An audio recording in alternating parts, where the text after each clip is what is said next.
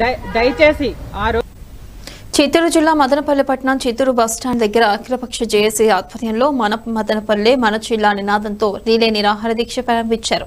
ఈ కార్యక్రమంలో MRAP MR MRSP Narendra Mala Mahanadu Yamala Sudarshanam PSP Gautam CPI Sambasivarao తోపు కృష్ణప్ప ముబారక్ రాయలసీమ విద్యార్థి వేదిక ఉమాపతి కరాటే అసోసియేషన్ ప్రతినిధి పాల్గొన్నారు.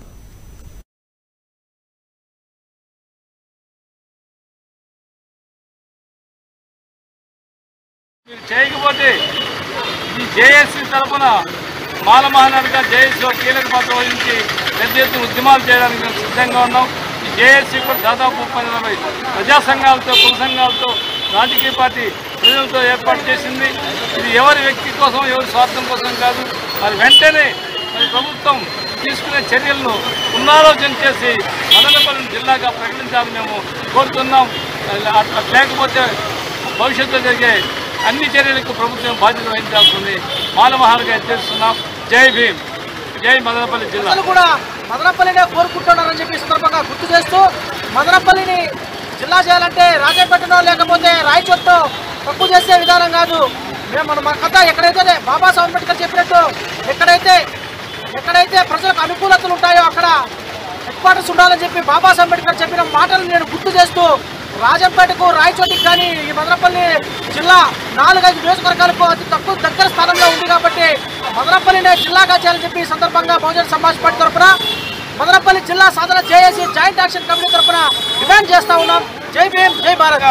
ఇప్పటికే గత పది రోజుల నుంచి అనేక సందర్భాల్లో మదనపల్లి చుట్టుపక్కల ఉన్నటువంటి నాలుగు నియోజకవర్గ పరిధిలోని అన్ని కుల సంఘాలు ప్రజా సంఘాలను రాజకీయ పార్టీలు ప్రగతిశీల పార్టీలను మేధావులను అదేవిధంగా వ్యాపార వర్ష వర్షక కర్షక ఇతర సంఘాలందరినీ ఏకం చేసే ప్రయత్నం చేశాము. వారందరి మద్దతుతో మరి ప్రభుత్వాన్ని మేము డిమాండ్ చేస్తున్నాం. అన్ని రకాల హంగులు అర్హతలు కలిగినటువంటి మదనపల్లిను కాకుండా వేరే ప్రాంతం చేయడానికి అవకాశం లేకుండా మీరు నిర్ణయాలు తీసుకోవాలని మేము విజ్ఞప్తి చేస్తున్నాం. నిజంగా పాలకులకు పరిపాలన వికేంద్రీకరణ ద్వారా ప్రజలకు సరైన మేలైన పరిపాలన అందించాలనుకుంటే అది మదనపల్లి ద్వారా చేస్తేనే ఈ రాజపేట పార్లమెంట్ పరిధిలో మెజారిటీ ప్రజలు మేలు చేసిన వాళ్ళు అవుతారన్న విషయాన్ని కూడా గుర్తు చేస్తూ మీ లక్ష్యం మీ కోరిక నెరవేరాలంటే మదనపల్లి జిల్లాగా చేయాలని చెప్పేసి మేము డిమాండ్ చేస్తున్నాం. లేని పరిస్థితుల్లో ఖచ్చితంగా మదనపల్లి ప్రాంతానికి ఆ ప్రాంత పరిధిలో ఉన్నటువంటి నాలుగు అసెంబ్లీ నియోజకవర్గాలతో పాటు రాజోటి నూనె కలుపుకొని భవిష్యత్తులో తీవ్ర స్థాయిలో ఉద్యమాలను నడిపించి పాలకులకు కళ్ళు మేము పుంగనూరు నుంచి రాజంపేటకి వెళ్ళాలంటే రోడ్డు మార్గం కూడా సరిగ్గా లేదు. అనేక ఇబ్బందులకు గురవలసిన అవసరం ఉంది. అక్కడ లాడ్జీలకు కూడా ఇబ్బందికరంగా ఉందని అక్కడ ఉన్నటువంటి రైతులు కూలీలు కూడా మాకు చెప్పడం జరిగింది. ఈ సందర్భంగా పాలకులకు ఒకటే విజ్ఞప్తి చేస్తున్నాం. చేస్తే మదనపల్లను జిల్లాగా చేయండి. లేకపోతే ఏదైతే జిల్లా పునర్వ్యవస్థలను ఉందో దాన్ని యావత్తు రద్దు చేయాల్సిందిగా ఈ సందర్భంగా డిమాండ్ చేస్తూ జై మదనపల్లి జై Rayalaseema. All India karate union తరఫున మా సంపూర్ణ మద్దతును తెలియజేస్తున్నాము.